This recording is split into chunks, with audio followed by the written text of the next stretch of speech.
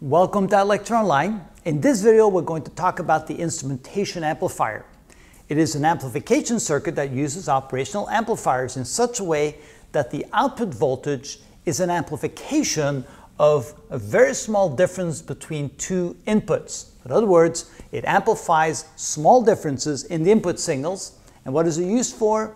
For measuring such things as thermocouples or acquisition systems and things like that. Very small changes, very small differences in the input will then have a very large output right here, of course depending upon how big your gain is. Here's the equation that describes the output voltage relative to the difference of the two inputs and multiply times this gain. Now, it depends, of course, how you choose the values for your resistors. Now, how did we come up with this equation right here? Well, let me try to show you. First of all, we're going to define the output of this op amp and the output of this op amp right here. So we have V1 output and V2 output. V1 output is equal to 1 plus the ratio of the feedback resistor, which in this case is R3, divided by the resistor, which is connected through this right here. Notice there's no voltage difference here, to ground. So that would be R4 times the voltage input. V1. And we can say that V2 output is equal to, in the same fashion, is going to be equal to the feedback resistor, which, ah, it's right here. There's our feedback resistor, R3, so we get 1 plus R3 divided by R4 times the input V2. All right, so how can we then relate that to the output voltage there?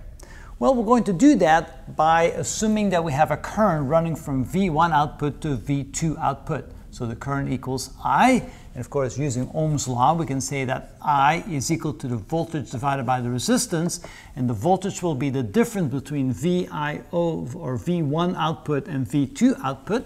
So be V1 output minus V2 output divided by the resistance between those two, which would be, mm, let's see here, R4 plus 2R3. We can also say that the current here between VA and VB can be defined as follows. I is equal to, again, using Ohm's law, V over R is equal to the difference between the voltages between those two points, and we labeled them VA and VB. So it would be VA minus VB divided by the resistance between those two, which is R4. Now you may say, well, why did we pick VA, VB? What's the significance here? Well, it turns out that you can see that VA must be equal to V1 and VB must be equal to V2 because there's no voltage difference between the inverting and non-inverting terminals of an ideal operational amplifier. With other words, we can replace VA by V1 and VB by V2. So we can say that I is equal to V1 minus V2 divided by R4. And now we can set these two equations equal to each other. And let's see what we get. So I equals this, I equals that. So we can write that V1 minus V2 divided by R4 is equal to V1 output minus V2 output divided by R4 plus 2R3. Okay, now what we're going to do is we're going to solve for V1 output minus V output relative to V1 and V2 because after all, V1 output and V2 output are the inputs to the third operational amplifier. All right, let's see what we get. So we can write that V1 output minus V2 output is equal to, putting this over here, turning the equation around, we get the quantity R4 plus 2R3 divided by R4 multiplied times, that would then be V1 minus V2. And of course, if we divide this into the numerator, this is equal to the quantity 1 plus 2 R3 over R4 times V1 minus V2. Now, if you take a look at this, and you take a look at our end result, you can see that we're beginning to get close to what we're looking for.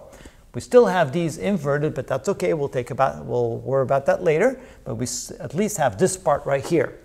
Now the next step is to find V output relative to these two V inputs. V1 output and V2 input output become the inputs to the third op amp. So we can say that V output is equal to the ratio of the feedback resistor to the input resistor. That would be the ratio of R2 divided by R1 times the difference between the two inputs, and that would be V2 minus V1. So we get V2 output minus V1 output. And now notice, let's see here, where I have the in the this reversed. So what I'm going to do now is I'm going to replace this by the inverse of that, which means I need to inverse this as well. So we can say that the V output is equal to the ratio of R2 over R1 times the inverse of this, which is this quantity right here, or actually I should say that quantity right there with that reversed. So times 1 plus 2R3 over R4 multiplied times, now this becomes V2 minus V1. And that's the exact same equation that we have over here. So that's where that came from, which means that this quantity here is the gain. Now sometimes you can set R2 equal to R1. If we do that, if we deliberately set R2 equals to R1, then the equation reduces to VO equals, the output voltage, is equal to 1 plus 2 times R3 divided by R4, multiplied times the voltage difference on the original inputs, V2 minus V1. And this quantity right here, 1 plus 2 times R3 divided by R4, that's called the gain. So the gain is equal to A is equal to 1 plus 2 times R3 over R4. And so finally, if you want to write it in a more simplistic fashion, you can say that the output voltage is equal to the gain times the difference of V2 minus V1. And that's the what we call the instrumentation amplifier circuit, which allows you to take a very small difference in the input voltages, amplify it quite a bit through a large gain to get an output voltage. And that's how it's done.